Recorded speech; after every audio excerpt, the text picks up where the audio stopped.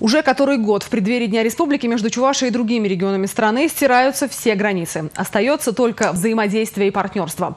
В Чебоксарах стартовала 23-я выставка «Регионы. Сотрудничество без границ».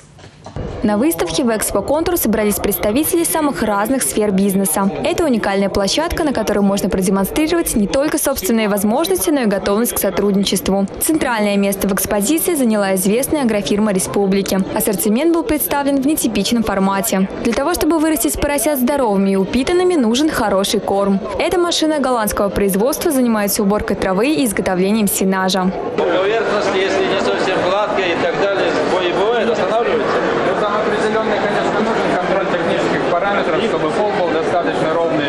не было там крутых подъемов. А эту агрофирму хорошо знают любители молочных продуктов. Вкусовые качества молока оценил и глава республики.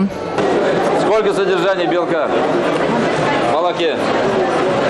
И содержание соматических клеток? Большое содержание белка, минералов.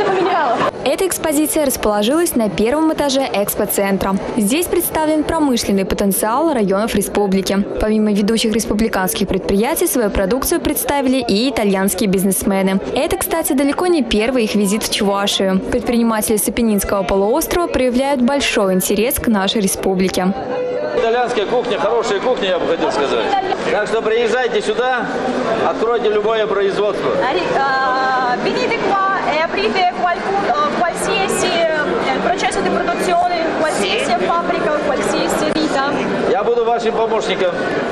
В общей сложности в выставке принимают участие около 200 предприятий и организаций. У жителей республики еще будет время просмотреть все. Выставка продолжится до 26 июня. Дарина Игнатьева, Расиль Мухаметов, Республика.